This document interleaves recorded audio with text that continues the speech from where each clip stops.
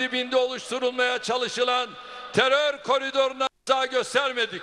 AK Parti'nin yeni MKYK listesi belli oldu. Listede Konya'dan iki milletvekili de yer aldı. Bu isimler Genel Başkan Yardımcısı Ahmet Sorgun ve Leyla Şahin Usta oldu. AK Parti'nin yeni Merkez Karar Yürütme Kurulu'nda 27. dönemden 42 milletvekili, 8 milletvekili olmayan üye ve 29 yeni üye var. Yeni listede Konya'dan milletvekilleri Ahmet Sorgun ile Leyla Şahin Usta da yer aldı. MKYK'nın 50 kişilik listesinde adayların 42'si milletvekillerinden oluştu.